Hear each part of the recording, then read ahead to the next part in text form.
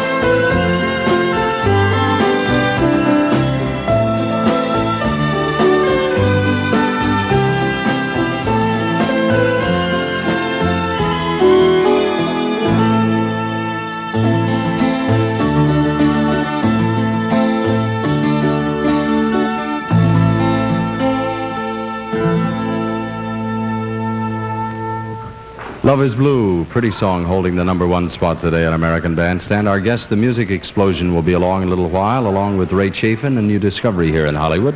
You're listening to American Bandstand and watching too, we hope, and we'll be back in just a moment.